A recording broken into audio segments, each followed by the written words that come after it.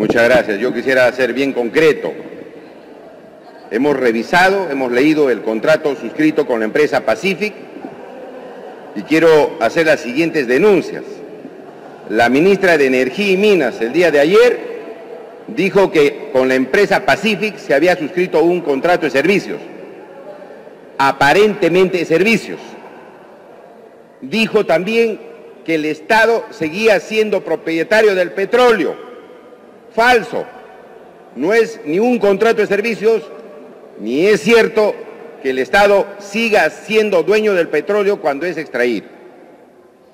Artículo 19.11. El contratista, la empresa Pacific, tendrá la libre disponibilidad de los hidrocarburos que, que le correspondan conforme al contrato. ¿Quién tiene libre disponibilidad de algo? El propietario, no otra persona. Entonces aquí se le está entregando, conforme a este artículo, la propiedad del petróleo extraído a la empresa Pacific y por lo tanto la ministra de Energía y Minas le ha mentido al país diciendo que el Perú, el Estado, seguía siendo dueño del petróleo y a los empresarios solamente se les iba a pagar una retribución por ese servicio. Falso. Artículo 19 le otorga libre disponibilidad a la empresa. La empresa es propietaria de lo que está extrayendo. Y esto me parece una falsedad. Y en base solamente a esto, yo creo que la ministra de Energía y Minas debía renunciar de su cargo. Y el primer ministro igualmente por venir a respaldar exposiciones que no se atienen a la verdad. Punto dos se ha dicho que se le va a pagar por los servicios a la empresa para extraer el petróleo del lote 192. En el punto 7.1, 8.5, perdón, del contrato, se dice que esa retribución se va a entregar en petróleo, en un 40% a 84% el petróleo, para pagarle a la empresa se va a disponer del 84% del petróleo sustraído y para el Perú le va a quedar solamente 16% del petróleo.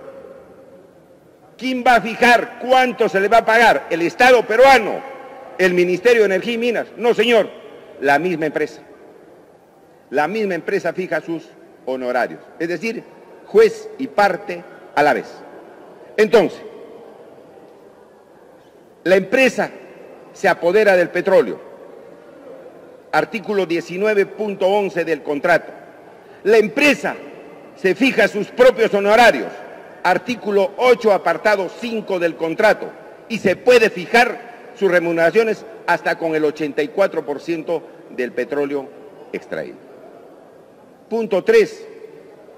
La empresa se convierte en fiscalizadora de ella misma el comité de fiscalización que aparece en el apartado 7.1 dice que va a tener seis miembros que van a fiscalizar el trabajo de la empresa. Tres son de la empresa, tres son de la empresa y tres del Estado. O sea, que ella misma se fiscaliza con tres miembros de ese comité, donde se ha visto que una persona que quiere una obligación con el Estado se va a fiscalizar a sí mismo, juez y parte a la vez. Es decir, un contrato lesivo claramente a los intereses nacionales. Yo sé que esto no le interesa pues a algunos, por eso esta conferencia se está haciendo con los medios que lamentablemente eh, tienen interés en esta materia. Fiscalización, ellos mismos se fiscalizan. Cuarto punto, los señores van a utilizar en forma gratuita el agua y la madera de la zona donde van a operar, de manera gratuita, en zonas donde hay ingente y abundante cantidad de agua dulce y en una coyuntura en que debemos cuidar el agua. Los señores van a utilizar la madera y el agua en forma gratuita. Punto quinto, los señores no van a pagar ningún impuesto por la exportación del petróleo. Ojo, le están diciendo que pueden disponer libremente el petróleo en el artículo 19 y ahora le dicen, si usted exporta no le vamos a cobrar ningún tipo de impuesto. Ningún tipo de impuesto, perdiendo el Estado recursos por los impuestos que tiene que recaudar en una actividad que es altamente productiva. Altamente productiva. Punto sexto. Los señores, si les da la gana mañana, se retiran de la explotación del petróleo.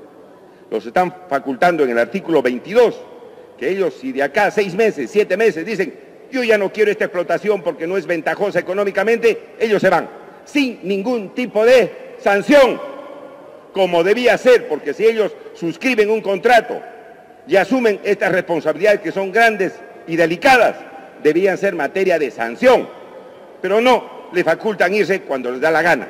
Y finalmente, para que el Perú siga perdiendo, siga perdiendo los arbitrajes, porque cuando hay conflicto con las empresas transnacionales, todo lo envían a arbitraje internacional, fijan arbitraje internacional, donde el Perú siempre pierde, donde se mueven las los lobbies de las grandes transnacionales y el Perú siempre pierde.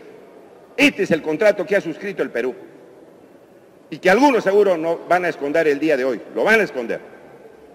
Esto es lo que hace el gobierno y los sucesivos gobiernos, lamentablemente, entregando las riquezas naturales del Perú a precio huevo y mintiéndole al país en las exposiciones ministeriales.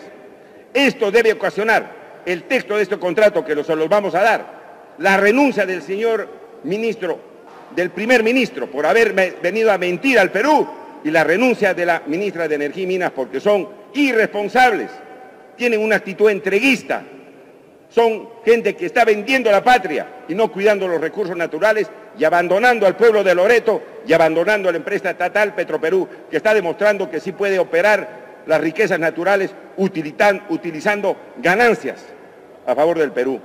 Sé que hay algunos tontos útiles que defienden pues a las grandes transnacionales, insultan en las redes sociales, nos insultan de populistas, pero ya sabemos a qué intereses responden. Nosotros aquí estamos obrando con contratos, con contratos. Y si alguien quiere refutar esta exposición de este contrato lesivo a los intereses nacionales, que venga a refutar con contratos y con argumentos, y no con insultos, y no con insultos.